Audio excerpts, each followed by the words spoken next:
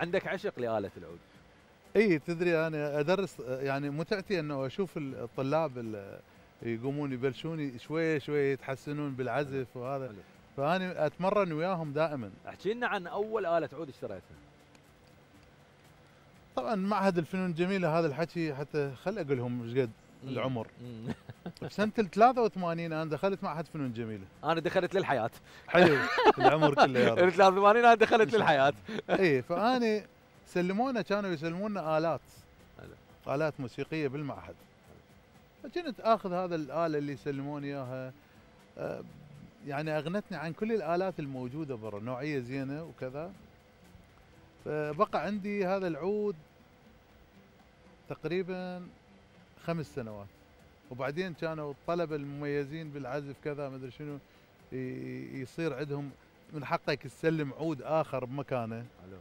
فأنا اعتزيت بهذا العود اللي تعلمت به فسلمت عود بمكانه.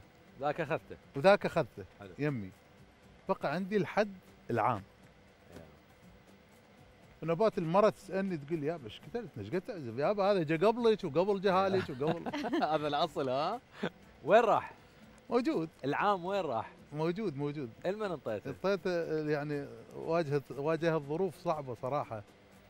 و...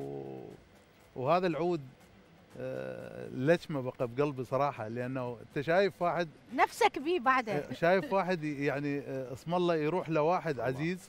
الله. آه، أنا بكيت على هذا العود بيوم اللي بعته. بعته؟ بعته. لأن واجهتني ظروف كلش صعبة. فبعت هذا العود. المن بعته؟ راح بعد لا حقيقة حقيقة. بعت الواحد من آه، ولدنا يعني وهذا ولدنا تدري آه، عود حلو مرتب و وصناعته محمد فاضل و... يعني موجود حاليا يمه؟ لا راح للخليج أظن.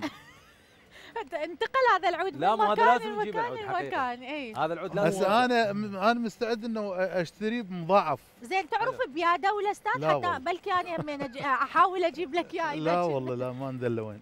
طبعا.